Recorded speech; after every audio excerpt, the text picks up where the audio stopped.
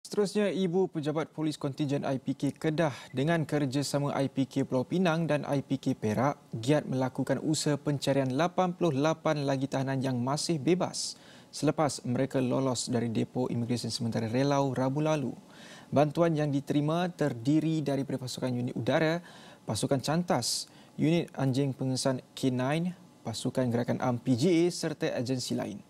Operasi pencarian itu turut membabitkan pelaksanaan sekatan jalan raya di beberapa kawasan seperti di Kulim, Bandar Baharu serta seberang Perai Selatan.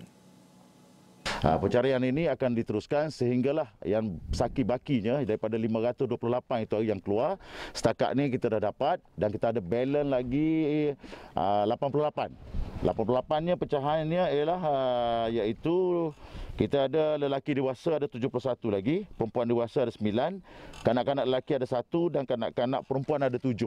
Kita percaya mereka ini masih ada di kawasan sekitar dan mungkin uh, mereka pun agak kelaparan mungkin dalam, dalam dah 2 hari dah uh, ni insya-Allah.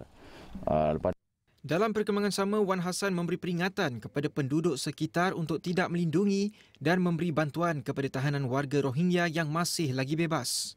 Ini kerana mereka boleh dikenakan hukuman yang berat sekiranya didapati bersalah atas tuduhan melakukan perbuatan subahat dengan tahanan dan melindungi mereka.